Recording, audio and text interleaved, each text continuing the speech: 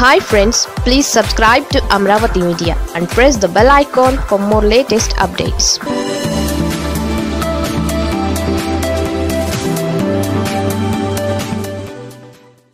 అమరావతిపై high court తీర్పుతో టీడీపీకి ఇంత నష్టం జరుగుతుందా? రాజధాని అమరావతి అనేది వైసీపీ టీడీపీల మధ్య ఆధిపత్య పోరాటంలాగా మారిపోయింది. కోర్టు తీర్పు ప్రభుత్వానికి అనుకూలంగా వస్తే చంద్రబాబు నాయుడుకు దెబ్బని అమరావతి రైతులకు అనుకూలంగా వస్తే జగన్మోహన్ రెడ్డికి దెబ్బనే ప్రచారం అందరికీ తెలిసిందే. తాజాగా కోర్టు తీర్పు ప్రకారం జగన్కు పెద్ద షాక్ అనే ఎల్లో మీడియా చంద్రబాబు అనుకో ప్రచారం చేసుకుంటున్నారు.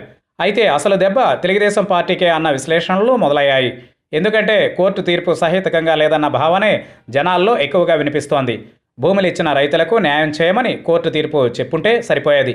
కానీ అంతటితో ఆగకుండా అసలు సిఆర్డీఏ చట్టాన్ని రద్దు చేసే అధికారం మూడు రాజధానులను ఏర్పాటు చేసే అధికారం ప్రభుత్వానికి కానీ లేదా అసెంబ్లీకి కానీ లేదని చెప్పడమే విచిత్రంగా ఉందంటున్నారు వైసీపీ నేతలు. మొత్తం మీద హైకోర్టు తీర్పుపై వైసీపీ నేతల్లోనే కాకుండా మామూలు జనాల్లో కూడా అయోమయం కనబడుతోంది. అయితే ఎల్లో మీడియాలో మాత్రం సంబరాలు ఆకాశానికి అంటుతున్నాయి అందుకనే టీడీపీ నేతలు డప్పులు కొట్టుకుంటూ సంబరాలు జరుపుకుంటున్నారు. విచారణ సందర్భంగా చట్టాలను చేయవద్దని ప్రభుత్వాన్ని ఆదేశించే అధికారం తమకు లేదని న్యాయమూర్తి చెప్పిన విషయాన్ని గుర్తు చేస్తున్నారు. విచారణ సందర్భంగా ఒకలాగా వ్యాఖ్యానించి తీర్పు మరో రకంగా రావడానికి కారణం చంద్రబాబే అని మెజారిటీ జనాలు అనుమానిస్తున్నారు. వైజాగ్ పరిపాలనా రాజధాని కర్నూలు న్యాయ రాజధాని కావడాన్ని చంద్రబాబు మొదటి నుండి వ్యతిరేకిస్తున్న విషయాన్ని ఉత్తరాంధ్ర జనాలు గుర్తు చేస్తున్నారు. కోర్టు తీర్పు నేపథ్యంలో ప్రభుత్వం వైఖరి ఏంటనేది స్పష్టత లేకపోయినా చంద్రబాబును మాత్రం జనాలు తప్పుపడుతున్నారు.